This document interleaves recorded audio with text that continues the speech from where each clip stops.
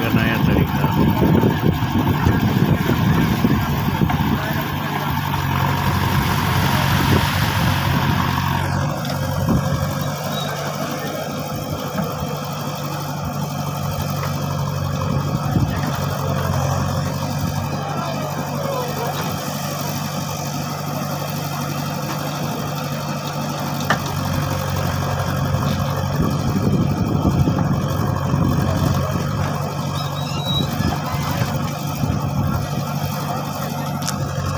राख और मिट्टी को मिक्स किया जा रहा है।